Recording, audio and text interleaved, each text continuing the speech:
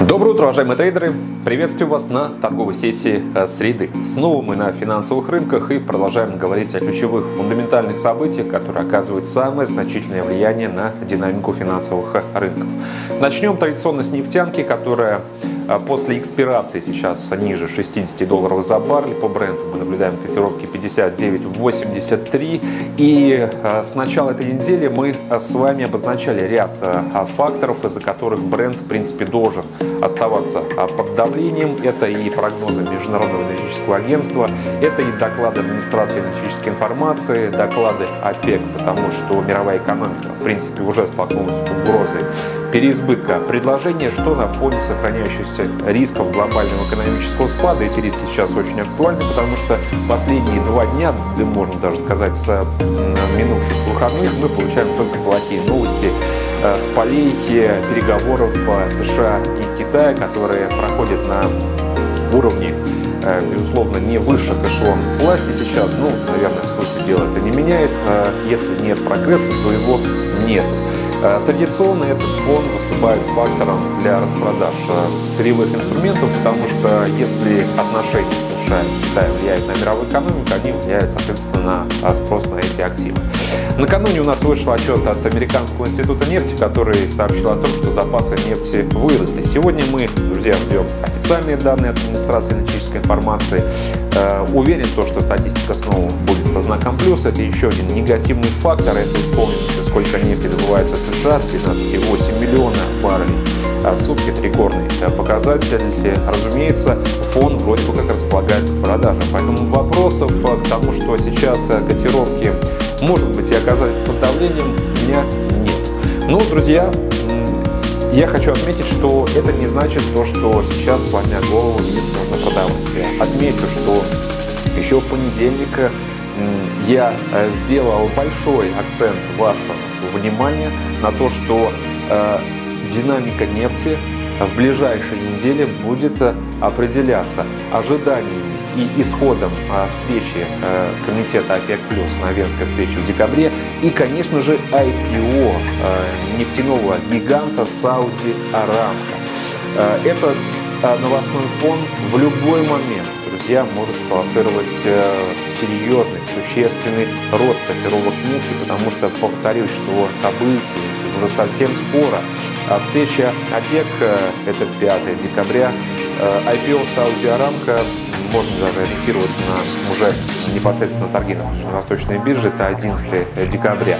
Я много говорил уже о том, насколько важно сейчас на рынке создать условия, при которых котировки будут на очень высоких уровнях, потому что каждый доллар это фактически для Сауди Арамко 10 миллиардов э, долларов потенциальной э, прибыли. То есть э, даже побольше, если совсем упираться и говорить о детальных о цифрах. Саудовская Аравия не может сейчас облажаться. Очень долго на IPO выходили, друзья, поэтому то, что котировки сейчас снижаются, оказались под давлением, да, у этого есть объяснение, но есть и компенсирующий фонд, который э, сегодня уже, к примеру, может отправить цены снова выше 60, далеко выше 60. Если котировки вырастут там на несколько процентов, вопросов к этому не будет. Я держу длинные позиции, потому что уверен, что Саудовская Аравия может пойти на конкретные действия. Даже если не говорить о, действиях с э, угрозами каких-нибудь военных э, компаний в Йемене, что весьма э, вероятно, э, мы э, понимаем, что, наверное, самый э, ожидаемый ход, который сейчас можем увидеть, это Э, лоббирование идеи э, того, чтобы страны ОПЕК плюс 5 декабря согласовали не только дополнительное продление действия энергетического пакта, но и взяли на себя обязательства еще более меньших квот по добыче нефти. Напомню, что сейчас в совокупности э, страны ОПЕК согласовали ранее по добыче показатель на 1,2 снижение, согласовали на 1,2 миллиона баррелей. Я допускаю, что после Венской встречи мы можем говорить уже о цифрах полтора миллиона. И все это будет делаться для того, чтобы как раз подстегнуть сейчас интерес к нефтянке, спровоцировать ралли и создать условия для благополучного IPO. Поэтому, друзья, несмотря на снижение, повторюсь, что для меня приоритете длинные позиции, я думаю, вы должны понимать, чем это связано. Доллар иена 108.47, мы понемногу снижаемся. Здесь причин для распродаж довольно много. Это и комментарий Трампа Э, связанные с очередной критикой в адрес Федрезерва. Об этом уже очень много говорили. Критика была после выхода на прошлой неделе данных по промышленному производству. Критика была и ранее. Э, буквально два дня назад прошла встреча, инициированная Дональдом Трампом Трампа непосредственно Джеромом Паулом. Она длилась около 30 минут. И э, в ходе нее обсуждались вопросы влияния сильного доллара на экономику. Я тогда об этом говорил. Друзья, я думаю, что эта встреча была направлена на то, чтобы донести э, Федрезерву конкретную директиву и установку на дополнительное стимулирование экономики. И мы, в принципе, будем ждать его возможно, в ближайшие месяцы. Я думаю, что до конца этого э, года есть также шанс на то, что ставки снизят э, еще раз.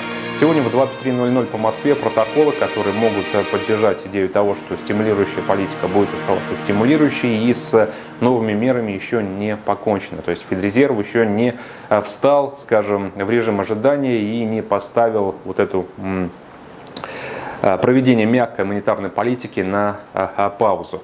Плюс ко всему, если опустить доллар, у нас есть еще факторы спроса на иену. Это, опять же, скажем, холодные ветра, которые дуют с полей переговоров США и Китая. Мы можем легко сейчас увидеть в средствах массовой информации, как изменились настроения Китая на очевидный пессимизм из-за того, что США отказываются отменять пошлины позиция Трампа действительно неоднозначна. Буквально три недели назад он обещал это сделать, и вот ВОЗ и ныне Трамп. И накануне он тоже я никак не могу объяснить, кроме как э, очередным подтверждением импульсивности натуры Трампа. Трамп сделал заявление о том, что если сделки не будет в ближайшие недели, он рассмотрит возможность э, увеличения таможенных э, э, пошлин, тарифов. Ну, как вы думаете, друзья, разве это та риторика, которая должна сейчас транслировать позитив? Я думаю, что нет. Золото из-за повышенного спроса на защиту тоже может выиграть, поэтому я ожидаю возвращения котировок в район полутора тысяч долларов за тройскую унцию. Евро против доллара ничего новенького, поэтому давайте не будем останавливаться. 1.10 1.73 сейчас котировки, ждем тестирования поддержки 1.10. Фунт против доллара 1.2909, отбились мы от сопротивления 1.30, произошло это на фоне очередного изменения эм, настроений касательно того, кто же все-таки на досрочных парламентских выборах 12 декабря сможет получить парламентское большинство. Ранее котировки росли, стремились к отметке 1.30, когда на рынке появились сообщения о том, что консерваторы начинают очень неплохо сплачивать свой коллектив и отрываться от партии либористов. Тогда перевес голосов был 45% в пользу консерваторов. Это по данным опроса эм, компании ЮГОВ. И 26% в пользу либористов. Сейчас настроения изменились, у консерваторов уже 42%. Это значит то, что вероятность э, все-таки согласования, получения парламентского большинства и вывода Англии состава Европейского Союза, она не так уж и очевидна сейчас и не так уж и высока. Да, Джонсон хочет получить большинство, но как меняются настроения, я думаю, что не нужно сейчас говорить о том, что его ожидания оправдаются. Если Англия не выйдет эм, из состава Европейского а, Союза в крайний срок там, в январе, соответственно, политический тупик продолжится, сохранится неопределенность, и я думаю, мы будем говорить о развитии еще больше нисходящей динамики. Друзья, сегодня я хочу обратить ваше внимание на то, что происходит с всем известной бенчмаркой крипторынка биткоином, который сейчас торгуется на отметке 8100 а, долларов. Я считаю, что биткоин уже целенаправленно движется в район Э, мощной поддержки на отметке 5000 долларов. Э, вижу несколько причин и хочу отметить, что настроение Э, довольно э, негативные. Во-первых, сейчас все подмечают тот факт, что очень необычная динамика для биткоина в момент ожидания его халвинга. Напомню, что халвинг – это э, процесс сокращения премии за генерацию дополнительных монет и сокращение фактически вдвое. Через полгода он уже намечен и, как правило, на историческом опыте можно сказать, что обычно биткоин в этот период очень, очень сильно рос, а потом падал после халвинга. Сейчас он снижается. Если динамика не изменится, изменится после халвинга, разумеется, биткоин просядет еще сильнее. Ну и все обратили внимание также на то, что Google накануне анонсировал а, свое вступление в мир, скажем так, финансовых услуг через проект Э, кэш, в частности, э, он может еще больше пошатнуть э, веру инвесторов в проекты, связанные с децентрализованными валютами. Очень сильно поджимают биткоин, друзья. Я думаю, что таким образом мы увидим развитие нисходящей динамики и рекомендую присоединиться к этим коротким позициям. На этом, собственно, все. Большое спасибо за внимание. Всего доброго. До свидания.